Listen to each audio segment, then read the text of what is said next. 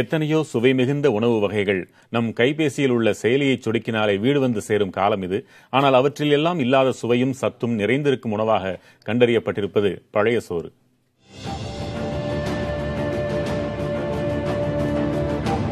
அறுபது வயதை கடந்தும் திடகாத்திரமாக இருக்கும் கிராமத்து பெரியவர் யாரிடமாவது கேட்டு பாருங்கள் உங்கள் ஆரோக்கியத்திற்கு காரணம் என்ன என்று. சற்றென்று பழைய சோறும் கம்பங்களியும் தான் என்று பதில் சொல்வார்.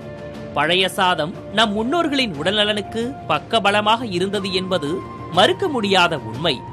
பல நூறு ஆண்டுகளாக பழைய சோறு சாப்பிட்டு வந்த பழக்கம் நம் பாரம்பரியத்துக்கு உண்டு. ஆனால் பிஸா பர்கர் நூடுல்ஸ் போன்ற துரித உணவுகளின் ஆதிக்கத்தால் பழைய சோற்றின் மகத்துவம் இளைய தலைமுறையினருக்கு தெரியாமலே போயிற்று.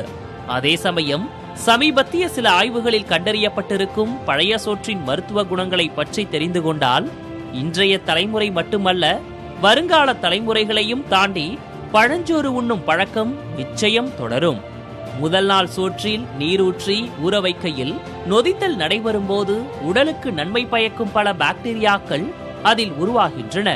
புது ரிசர்ச்லாம் பார்த்தீங்கன்னா நம்ம உடம்புல இருக்கிற ஒரு செல் எடுத்தா பாக்டீரியாவும் ஒரு செல் ஸோ எவ்வளோ செல் நம்ம உடம்புல இருக்கோ அதை விட நம்ம உடம்புல நல்ல கிருமிகள் இருந்தால் ஹெல்த் அப்படின்னு சொல்கிறாங்க இப்போ ரொம்ப சின்ன வயசில் வியாதி வந்துடுது.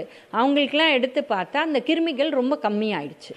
இது ஸ்ட்ரெஸ்னால இந்த மாதிரி மைதா ப்ராடக்ட் சாப்பிட்றதுனால ஜங்க் ஃபுட் சாப்பிட்றதுனால எக்ஸசைஸ் பண்ணாததுனால அப்புறம் நைட்டெல்லாம் வேலை பார்க்குறது காலையெல்லாம் தூங்குறது இந்த மாதிரி விஷயங்கள் அதை கெடுக்குது.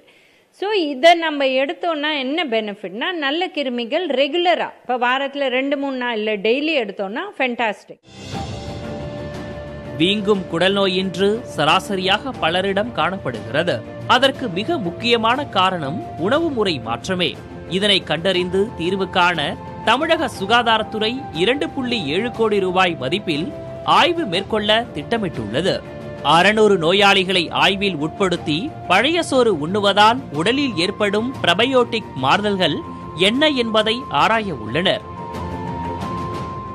இந்த அஜீரணத்துக்கு இந்த வ- வயிறு தமிழ் கோளாறு எதுவுமே வராது.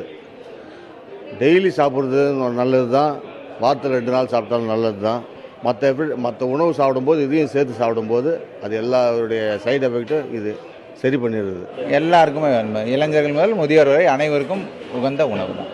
எந்த ஒரு பிரச்சனையும் கிடையாது. சாப்பிட்றவங்களுக்கு நல்லது தான் ஆரோக்கியமான வாழ்வுக்கு அவசியம் நல்ல உணவு முறை என்பதை யாரும் மறுக்க முடியாது. அந்த வகையில் பல்வேறு வைட்டமின்கள் நார்ச்சத்து நிறைந்த பழைய சோற்றை உண்ண வேண்டியது காலத்தின் கட்டாயமாகவும் மாற உள்ளது. புதிய தலைமுறைக்காக ஒளிப்பதிவாளர் சிவராஜுடன் அருண்மொழிவர்மன்.